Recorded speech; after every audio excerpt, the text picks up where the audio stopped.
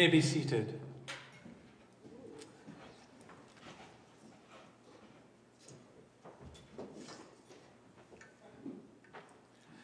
Well, welcome to all of you. Welcome to those of you joining us on Facebook and YouTube. Welcome to the wonder of Easter. The wonder of Easter is captured really well in a story told by David Peter, who uh, gave us some of the uh, Lenten service themes that we were following. He talks about a class of seven-year-olds who were gathered for Sunday school on Easter morning. And the teacher told them the story of Jesus' resurrection, and then when it was done, she asked them, what do you think was Jesus' first word when he came out of the tomb alive? And the girl raised her hand, and the teacher said, yes. And she jumped to her feet and stretched out her hands and said, Surprise! Jesus said, Surprise! that little girl nailed it, really. So welcome the wonder of the surprise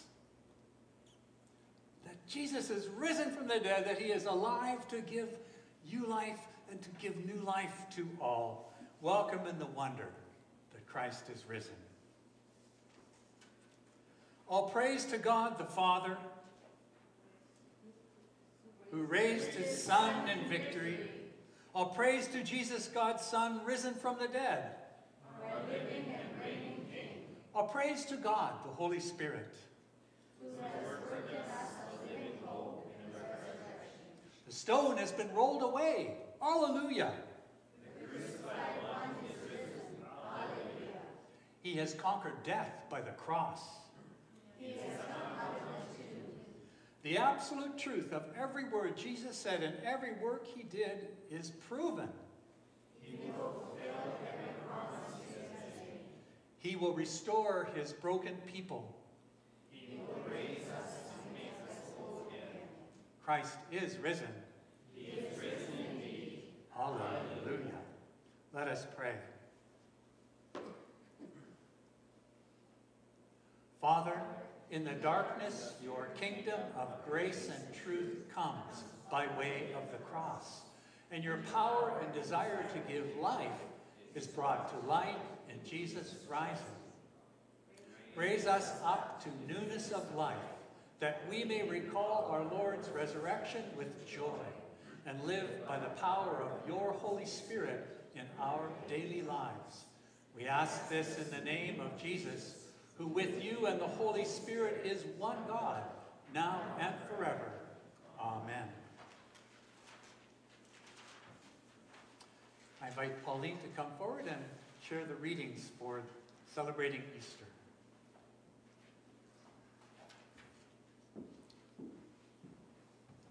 The first reading for our celebration of Easter is from the prophet Isaiah, chapter 61, verses 1 through 3.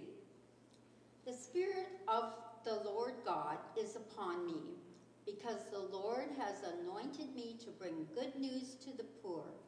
He has sent me to bind up the brokenhearted, to proclaim liberty to the captives, and the opening of the prisons to those who are bound, to proclaim the year of the Lord's favor and the day of vengeance of our God, to comfort all those who mourn, to grant to those who mourn in Zion, to give them a beautiful headdress instead of ashes, the oil of gladness instead of mourning, the garment of praise instead of faint, a faint spirit, that they may be called oaks of righteousness, the planting of the Lord, that he may be glorified. The second reading is from Paul's letter to the Romans, chapter 6, verses 1 through 11. What shall we say then? Are we to continue in sin that grace may abound? By no means. How can we who died to sin still live in it? Do you not know that all of us who have been baptized into Christ Jesus were baptized into his death? We were buried, therefore, with him by baptism into death, in order that, just as Christ was raised from the dead by the glory of the Father, we too might walk in newness of life. For if we have been united with him in a death like his, we shall certainly be united with him in a re resurrection like his. We know that our old self was crucified with him in order that the body of sin might be brought to nothing, so that we would no longer be enslaved to sin. For one who has died has been set free from sin. Now, if we have died with Christ, we believe that we will also live with him. We know that Christ, being raised from the dead, will never die again. Death no longer has dominion over him. For the death he died, he died to sin, once for all. But the life he lives, he lives to God.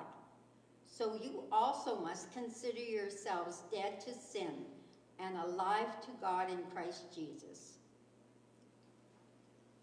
Last reading is the gospel reading. If you're able, please stand. It's from Luke chapter 24, verses 1 through 12.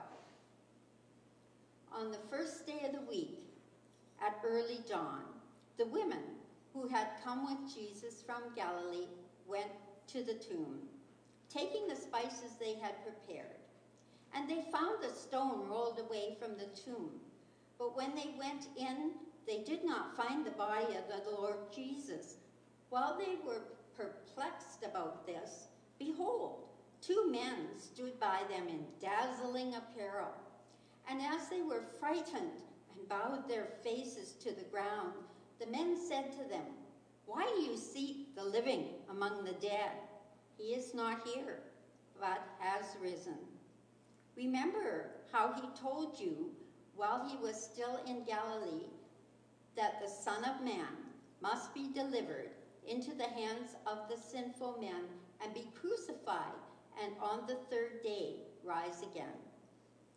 And they remembered his words, and returning from the tomb, they told all these things to the eleven and to all the rest. Now it was Mary Magdalene and Joanna and Mary, the mother of James, and the other women with them who told these things to the apostles. But these words seemed to them an idle tale, and they did not believe them. But Peter rose and ran to the tomb, stooping and looking in he saw the linen clothes by themselves, and he went home, marveling at what had happened. Here ends the readings for today.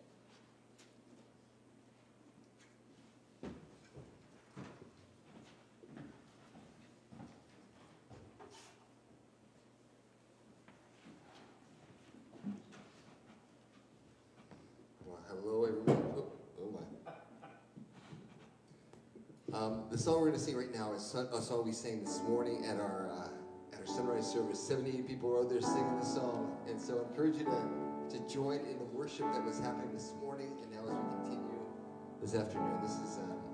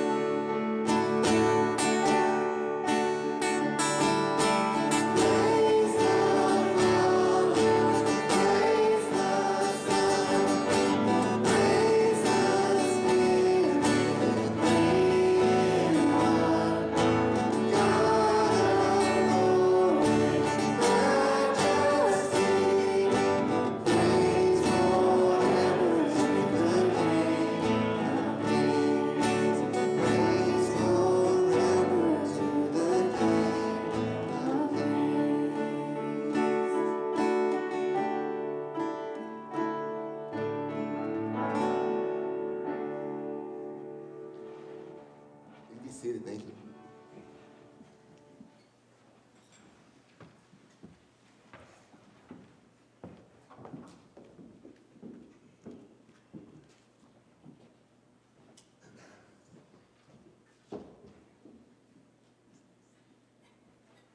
When we lived in Britain, there was a show called One Foot in the Grave. Anybody here seen One Foot in the Grave? Yes, I knew you had. Nobody else had. This is too bad, but oh well. Hopefully you'll get the point anyways. I didn't think anybody would have seen it, by the way. The main character in this uh, comedy, British comedy, his character's name was Victor Meldrew. And he had this phrase that he would use when things went wrong. And Donna knows what's coming. And it went like this. I don't believe it. He said it when things went like they weren't supposed to go. I don't believe it.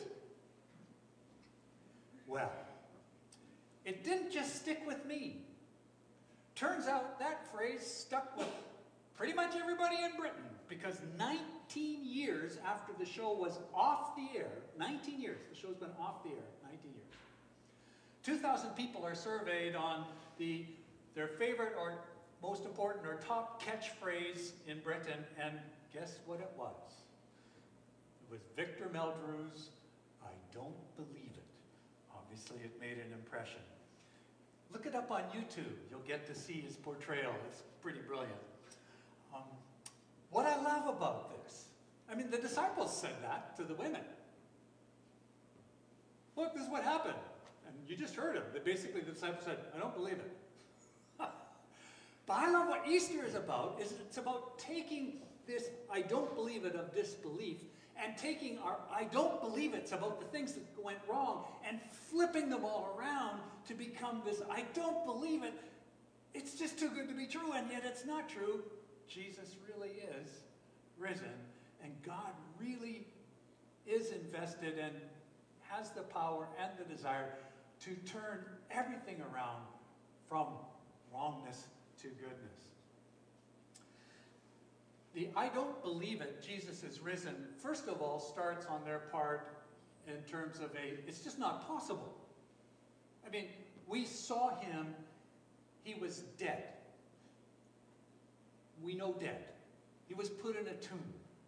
And yes, in his life, Jesus raised some people from the dead, but that was different. This is like, he's dead. I don't believe it. It's not possible that he's alive. And yet he is. And yet he is. And their reaction of disbelief to this news is actually great affirmation for us of the truthfulness of what happened. If they would have just gone, oh yeah, that's what he said, and now he's alive, and yeah, great, it would have been less believable than the fact that they saw him dead and they're going, no, I don't believe it. He was dead their reaction is really an affirmation of the reality that he really was crucified, he really was dead. And it was, they, they couldn't believe it, that he was alive. So first of all, they couldn't believe it physically he's alive. But the second one is kind of my favorite one. I don't believe it. Jesus is risen. It's too good to be true. This is too good to be true. You hear this later in Luke's account. Later on in the day, Jesus appears in the midst of the disciples and says, Peace to you. And they thought he was a spirit. So Jesus invites him to touch them and see that he's not a spirit. And Luke tells us this.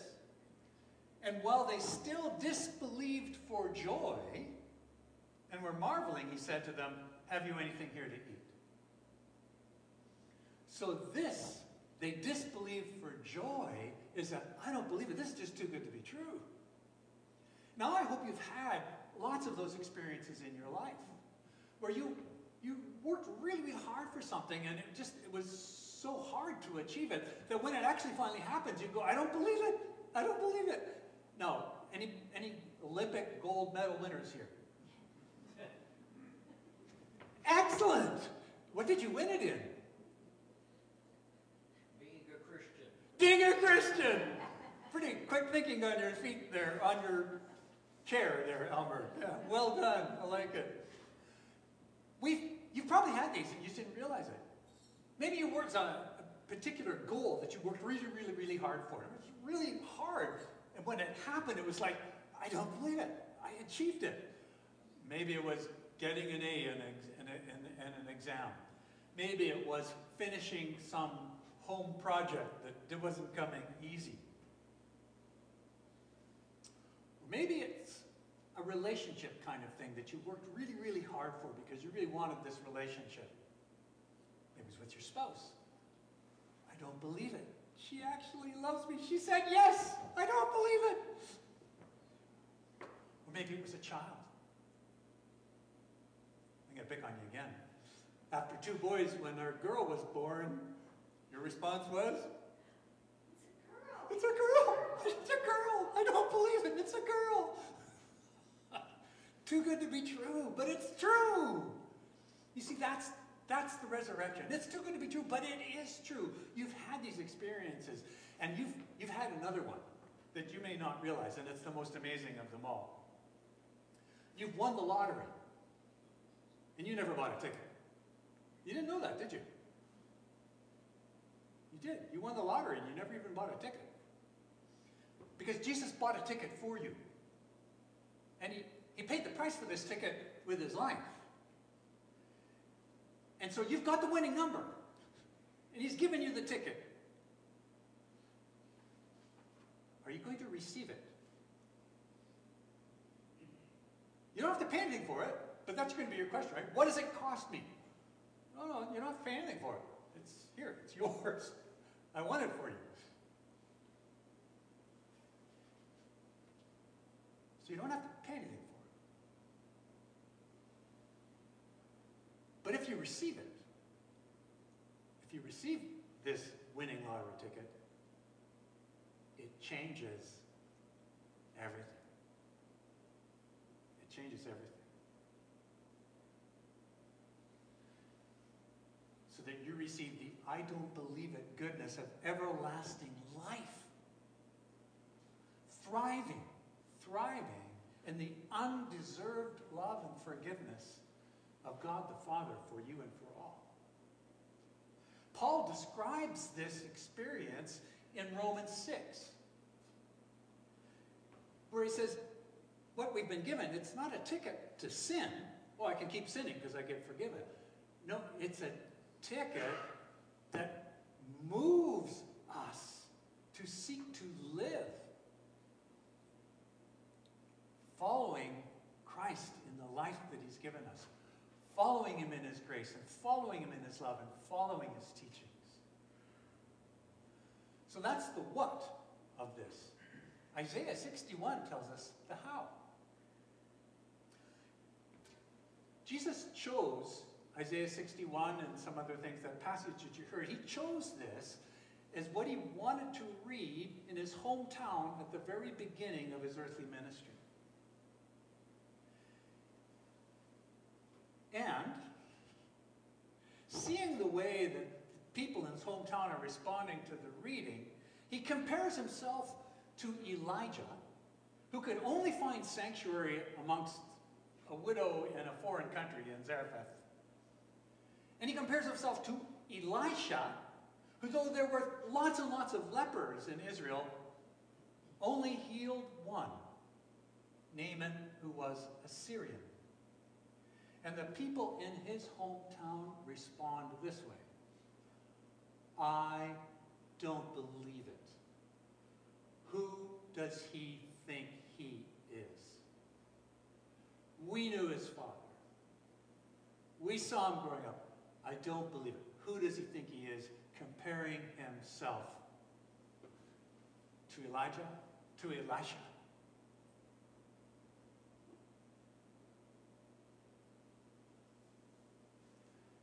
We are here today celebrating the resurrection of Jesus, which proves he is greater, greater than Elijah and Elisha.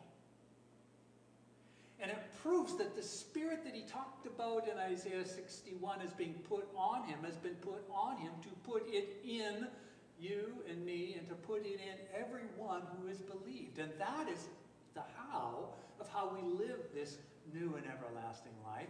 It's by the Holy Spirit, which Jesus, risen from the dead, has the authority and the power to put in you in your baptism so that you have the, the very Spirit of God that raised Jesus from the dead working in you, working in me, working in everyone who believes, everyone who receives the ticket. Here, receives the ticket. Everlasting life from my Father's love. I've paid the price for it. It's yours. Now, it's true that, like that phrase that the women were greeted with when they went to the tomb, why are you looking for the living amongst the dead? It's true that we get caught up in these moments. We know Christ is risen, but we get caught up in these moments. It's like we're not really living like he's alive. It's like we're looking for the lifelessness of Christ by just not expecting him to be giving us life. We have sometimes those I don't believe it moments about the promises of God, and I don't believe it moments about what Christ is calling us to in our life. And then when we wake up, we find ourselves going, I don't believe it. How did I get here again? I don't believe it. How did I get here again, once again, having strayed off the life that Christ gives?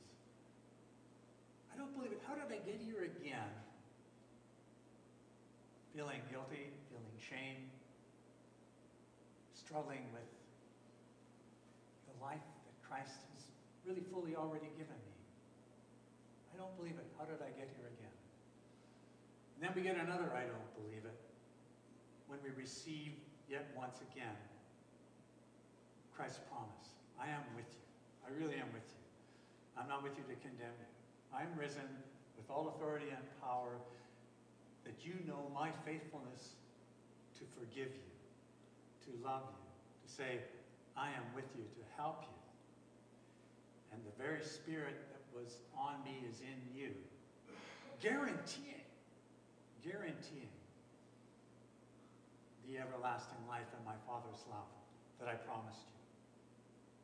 We're here today celebrating the resurrection of Jesus as being true.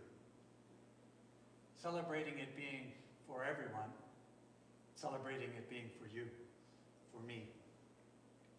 And Jesus, risen from the dead, is still working in us, and everyone who receives it, to guarantee the surprise of that glorious day. When we see him face to face. And the goodness of what we experience at that point in time is going to have us all going around, I don't believe it. I don't believe it eternally.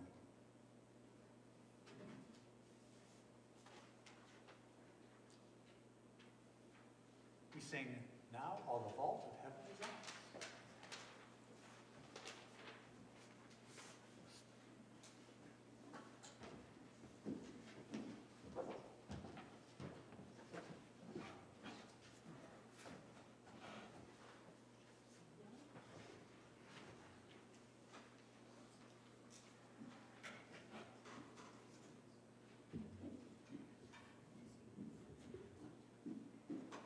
I'm thankful Jody is joining us because I decided on the third verse to have a ladies and men's part. So thank you, Jody, for coming up and helping me with this. I just love, uh, I just love this song. It's such a wonderful hymn of praise. What a great one to sing on Easter.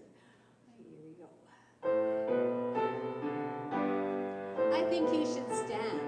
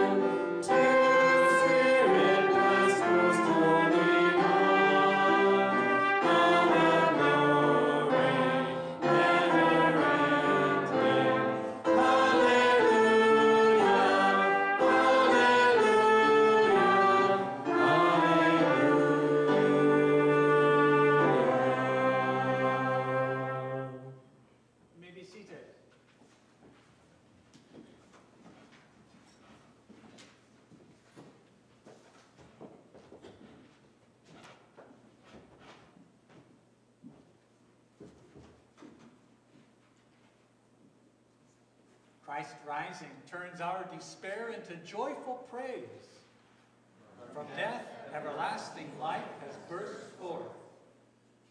Christ's rising shows the Father's love for all his children. From the death of sin, life-changing forgiveness bursts forth. Christ's rising brings the joy of living in God's love to us. From the despair of doubt, the promise of true life with Jesus is here. Hallelujah. I invite Pauline to come forward and lead us in prayer.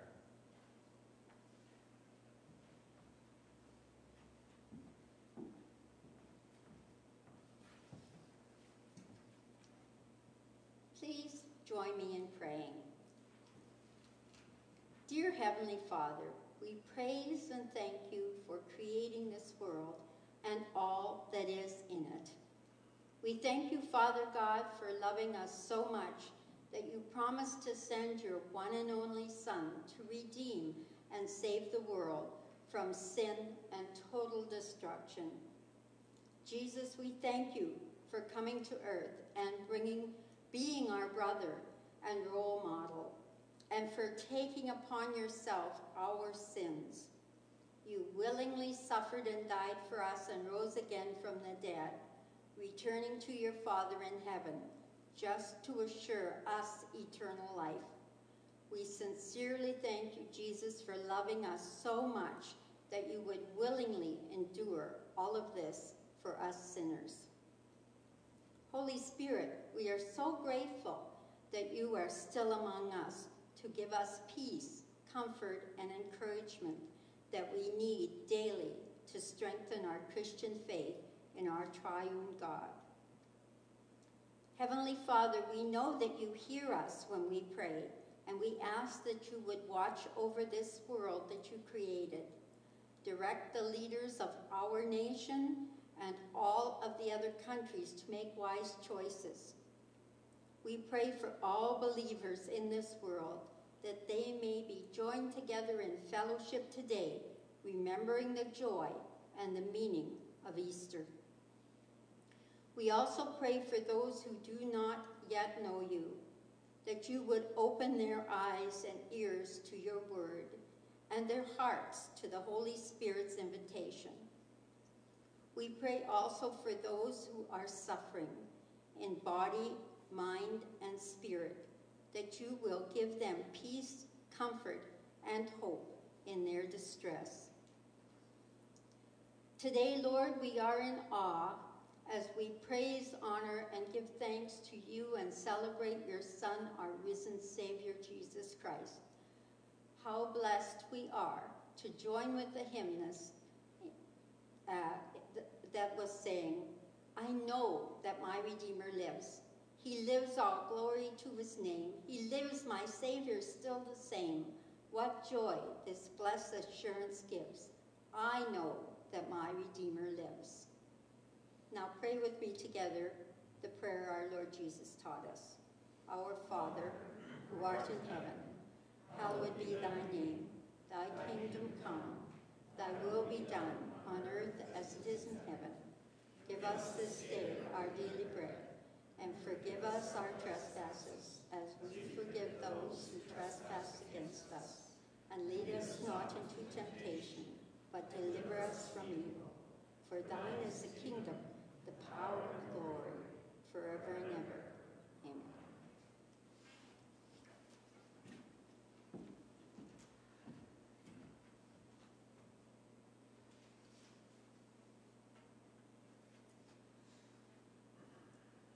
From Ash Wednesday through Lent, we've been using a series about following Jesus in the adventure of a lifetime. Looking at how we might have responded then if we were with Jesus, and then seeing how that also shows up in our life today as we seek to follow Christ, risen from the dead. Uh, these are some of the experiences that we came across. Whoa, I didn't expect that. Yes, you show him, Jesus. Surely you don't mean us, Jesus.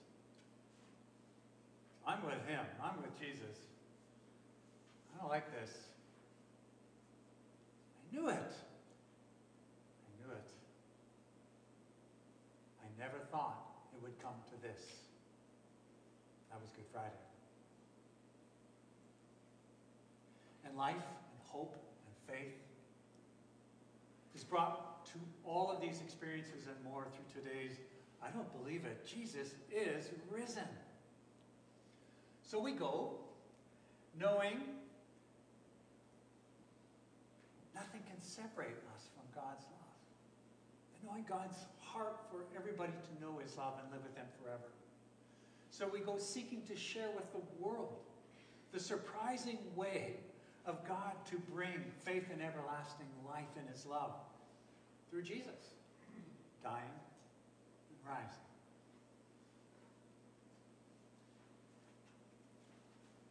And now may the God of peace, who brought again from the dead our Lord Jesus, the great shepherd of the sheep, by the blood of the eternal covenant, equip you with everything good, that you may do his will, working in us that which is pleasing in his sight, through Jesus Christ, to whom be glory forever and ever. And in Jesus' name, the Lord bless you and keep you. The Lord make his face shine upon you and be gracious to you. The Lord look upon you with favor and give you peace. Christ is risen. He is risen indeed. Hallelujah.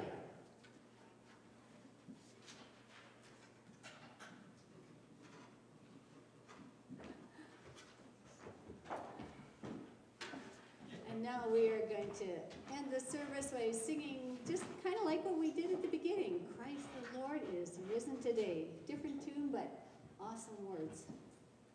And I just uh, Joel his team and everybody, everybody just come up on the stage so we have everybody up there making this pr- pronouncement.